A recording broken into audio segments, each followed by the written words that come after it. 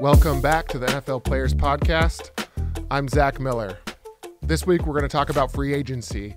It's going to be starting in three weeks here, so you're already seeing teams get ahead of the situation, releasing some veterans. Um, obviously, a tough time for those guys. I've I've been in in that situation um, when I was, uh, you know, my last year in Seattle. Uh, I had the ankle injury, and I, I you know, you, you kind of expect it coming. Uh, I had a roster bonus due early in the league year, and so uh, uh, John Schneider, Pete Carroll, you know, they give you the call a couple days before it's due because they have to make a decision on whether to keep the player. Is it worth it?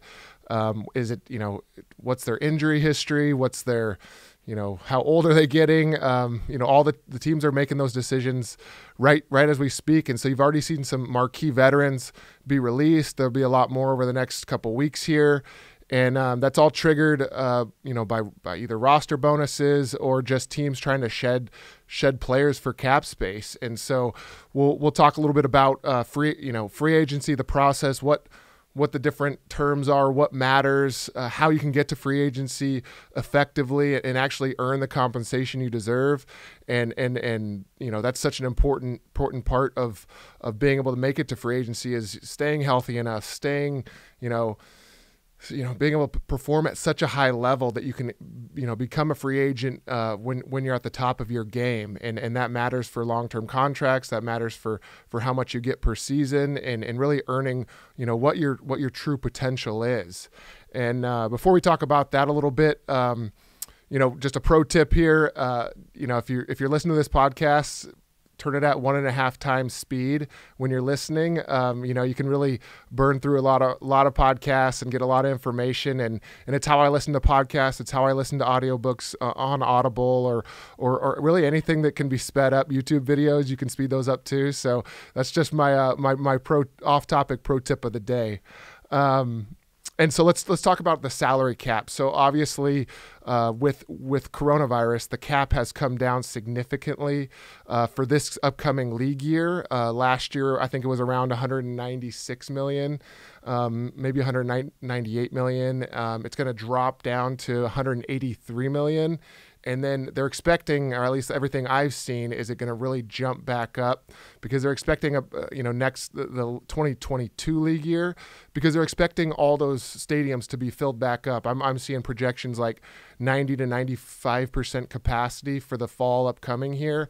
Um, really, really gonna gonna be good down the road for the NFL, but for this season, you're gonna see a lot of you're gonna see a lot of uh, general managers and team owners talking about the the salary cap and having to release veterans um, that are good players that they're they're just going to say because because of the cap they had to let them go, and so uh, you know uh, there's always uh, there's always um, a tough part about that because you you know you know you you're constrained by that salary cap, and then you always know that the teams can can extend. They can take uh, they can take bonus money, you know, to defer out that that cap number into the future if, if they really wanted to keep that player. So um, hopefully hopefully no no you know the listeners are in that situation but being in that situation myself um, and getting that that uh, call from from the owner or the or the GM is is is a tough day and so the sooner you can you know get start getting other teams interested once once you're out there in the free agency market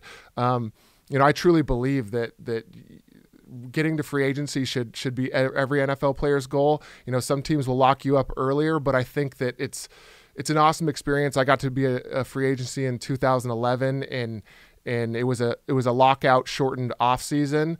But just the fact that teams get to compete for you, you get to see your true value, you get to pick where you where you're going to play. I think that's uh, something that every player should get to experience. Uh, every NFL guy should get that opportunity. And, uh, you know, if you really look at all the free agency rules, they're really designed to restrict player movement and, and lower player compensation, um, whether it's the franchise tag, the transition tag. Um, exclusive rights, restricted free agency, all those things are designed to restrict player movement. So, anytime a player can get to free agency, I think is is awesome for the player, and it lets you kind of pick the situation you want to be in, pick pick the team and, and culture you want to to to join, and I think that's um, definitely a goal every player should have. Um, so just just to talk about some of those terms, an accrued season in free agency means that you have played six games. Um, so once you have four accrued seasons, you can become an unrestricted free agent. If you only have three, then you're restricted free agent, and if you have less than three, you're exclusive rights. So those are just important things. An accrued season is different than accredited season. Accredited season is for your NFL benefits, and you'll uh, you only need three games for that one. So the accrued season six games, and and it's um, earning those and getting uh, closer to free agency is, is, is huge for players.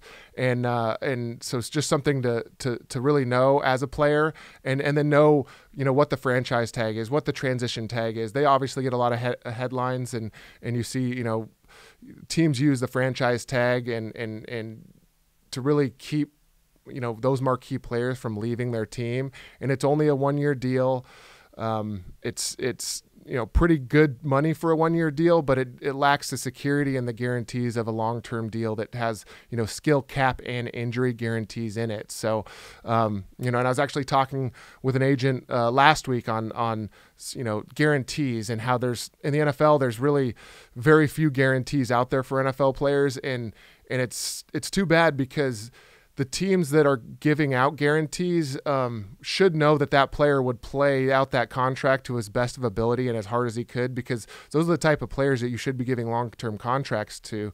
You shouldn't be worried that you have to, you know, the, the guy won't put out uh, the, the maximum amount of effort because, um, you know, all the players I've seen that get, you know, long-term deals um, that that uh, you know guaranteed, not guaranteed, the, the right kind of guys you want on your team as leaders and as um, football players, they're the ones that you know they would play to the best of their ability because that's what they're intrinsically motivated to do, and they don't they're not motivated by the money just to just to keep playing. So, um, you know, I still still can't understand why more NFL teams don't give out guaranteed contracts because the type of players that you give those to should be the ones um, that you want to build the foundation of your team on. Um, for for this cap year that's coming up, um, one thing I will say on that is that it um, it it's probably not a bad year for for any free agent. That if you're not getting those deals that you want, uh, to really look at playing a one year deal and waiting for the cap to go back up next year um, and really bet on yourself. And, and how you do that effectively is, is you use all the type of protection you can give yourself. It's whether it's a disability policy with a loss of value, protecting in case there's some type of catastrophic injury.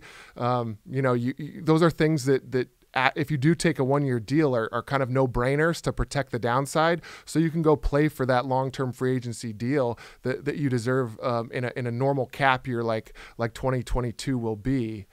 Um, and then, you know, one more th- important thing to note, I will say, is um, you hear around this time of year that, that, a lot of guys, you know, they're they're unhappy with their agent or they're, um, you know, the agent gets them a deal, but it's it's not. There's only a few agents that really justify their three percent fee. It's it's actually your play on the field, how good of a football player you are, how you know how much you take care of business off the field, how much of a leader you are, what kind of example you set for the younger players. Those are the those are the guys that drive the free agency value, and you will see that you know in three weeks when free agency starts, you will see, um, you know, the teams with with the best front offices end up finding those players with those intangibles, with those that on the field performance and constant improvement and desire to win. Those are the guys that that that get the long term deals, but then also um, you know play out those long term deals and and you know establish themselves as as you know future either Hall of Famers or you know just longtime NFL players. And then one more thing I'll mention is just my my story of of becoming an unrestricted free agent. I, w- I played out my entire rookie contract in Oakland. I was a leading receiver for three years there um, before becoming a free agent, and then even um, made the Pro Bowl um, my last year before becoming a free agent. And and uh, w- and another thing about that is, uh, you know, they tell you like, yeah, you know play out play out your rookie deal, play out your your your contract because you signed it. Um, the the problem with that is the teams won't honor the other side. They'll they'll release you release you um, before your contract's up. So so I'll say on that like you will never make the money back for playing at less than market value. Uh, the teams will say you know we'll reward you at the end. We'll reward you at the end. Well, I did that in Oakland and they did not reward me with any long term deal.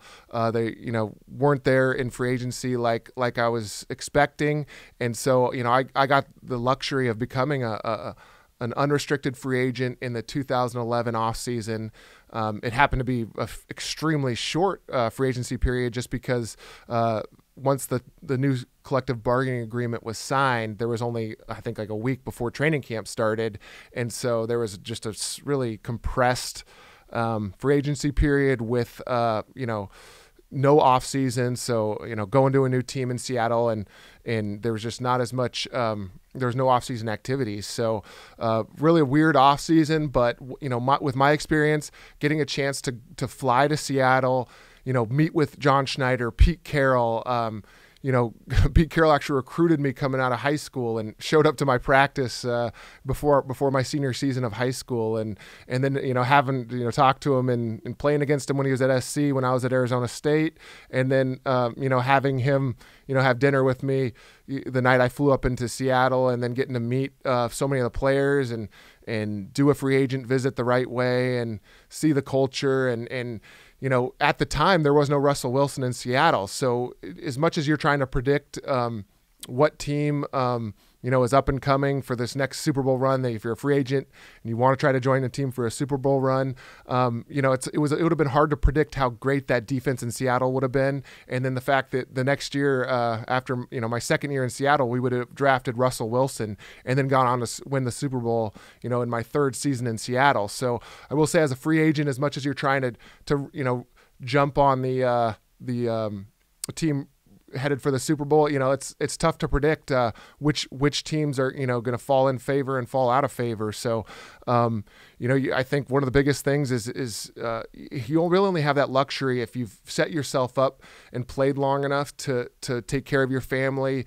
You know, you're sacrificing your body for uh, for money in the NFL. That's that's just true. You're going to have the effects of football for the rest of your life. So you need to go ahead and make sure you take care of your your financial uh, life first and sign the deal you deserve.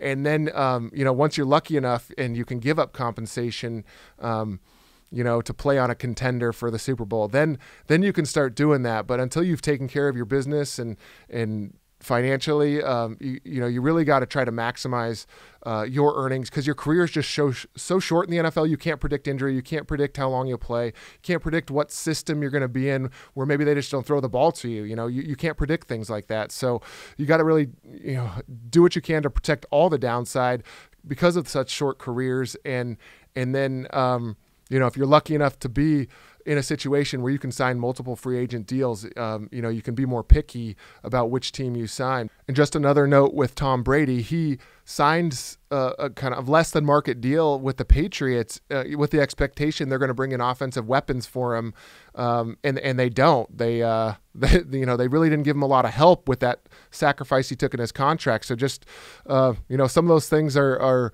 you just you just after watching the NFL, playing in the NFL for so long, you you start to see and and uh, that's pretty much it for free agency. Uh, obviously, you're going to see tons of news on it in the la- in the next few weeks, and that's it for free agency.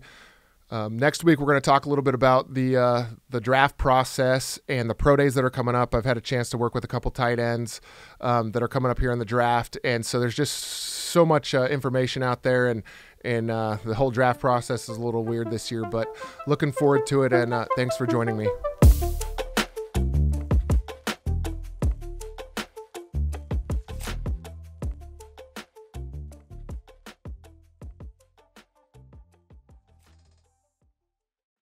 The information in this podcast is educational and general in nature and does not take into consideration the listener's personal circumstances. Therefore, it is not intended to be a substitute for specific individualized financial, legal, or tax advice. To determine which strategies or investments may be suitable for you, consult the appropriate qualified professional prior to making a final decision.